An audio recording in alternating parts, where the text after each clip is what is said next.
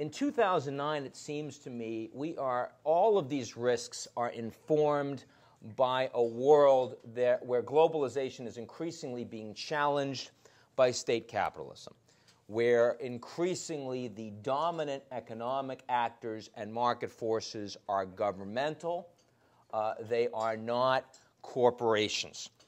That has been a long time coming. It, it, was coming when national oil corporations became more important than multinationals over the past several decades. It was coming with the rise of state owned enterprises as the BRICS and other emerging markets and frontier markets became more important. It was coming as sovereign wealth funds became much more important um, in the investment community over the last several years. And in the past six months, it's become much more important because of the extraordinary governmental response on stimulus and regulatory policy to this global financial crisis.